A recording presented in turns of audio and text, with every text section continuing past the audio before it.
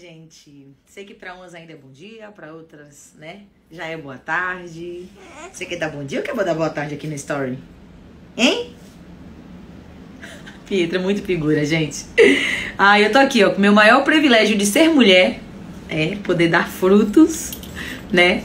Ser mãe, ser mãe dessa coisa mais linda do mundo que Deus me deu, que eu sou grata todos os dias a Ele por esse presente lindo, né? Então você que é mulher, já se sinta aí mulher, vitoriosa, guerreira. Sei que você é batalhadora assim como eu, porque não é fácil, meu amor, corpinho aqui. Não é fácil ser mulher. Sei que não é fácil. Nós sabemos o que, que a gente passa, só a gente sabe as nossas lutas, as nossas dificuldades diárias. Todos os dias é luta, é guerra, né? Mas ser mulher é isso, né? É ser forte. Então eu quero te desejar um feliz dia da mulher. Que você pegue o dia de hoje como é, pegue o dia de hoje como incentivo para continuar lutando, para continuar correndo atrás do seu objetivo, porque isso só você vai fazer por você né? Então, assim, é, pega o dia de hoje como garra mesmo. Hoje é o meu dia. Eu sou mulher, caralho, e hoje é o meu dia. Vocês têm noção disso?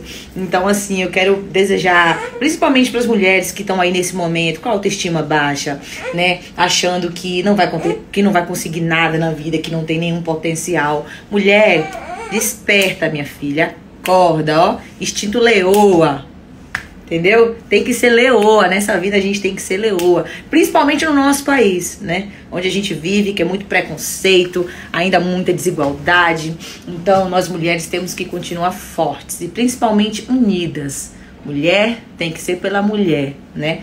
É, eu, falo isso porque a maioria das críticas que a gente recebe, né? Calma, meu amor. Hum a maioria das críticas né, que a gente recebe e ataques de internet vem tudo de mulher. Eu falo isso como prova viva. Então, mulheres, aprendam a respeitar as outras mulheres, respeitar o espaço das outras mulheres, a amar as outras mulheres assim como você ama a si mesma, né? Mais amor próprio, né? Mais responsabilidades e entrega a vida na mão de Deus. A gente tem que falar em pé.